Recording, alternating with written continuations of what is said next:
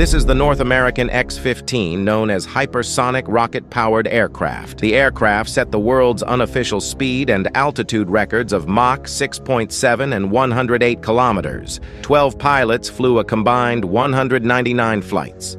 Five from NASA, five from the Air Force, one from the Navy, and one from North America. This is the pilot of X-15 in order by date of first flights.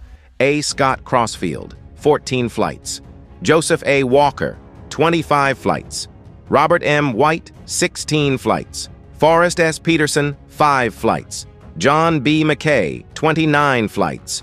Robert A. Rushworth, 34 flights. Neil A. Armstrong, 7 flights.